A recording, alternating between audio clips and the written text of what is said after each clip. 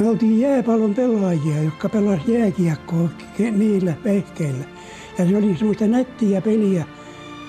Me osattiin syötellä ja osattiin luistella, mutta noin, ja taklata ei saanut pahemmin.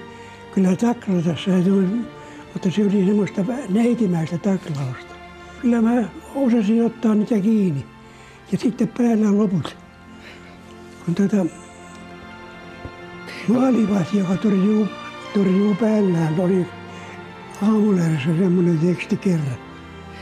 No, miten paljon yleisöä tuossa pelissä? Ei siellä ole kuin muutama kymmen henkeä alkuun. Vähitellen rupesi tulemaan enempi, kun me ruvettiin perjäämään. Tamperelaiset tuli aika hyviä siinä jääkiekossa.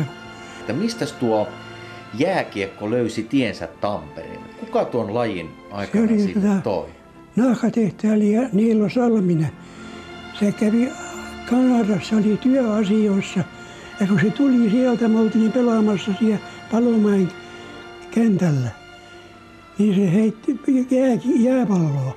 Se heitti jää, nipun jääkiekkomailon ja, ja sitten jääkiekkoja siihen, että pelakkaas näille pojat. Ja siitä se alkoi. Kuka voittaa tänä keväänä jääkiekon Suomen mestaruuden? Keväällä 2008. Kyllä mä, kyllä mä kärppiin uskon.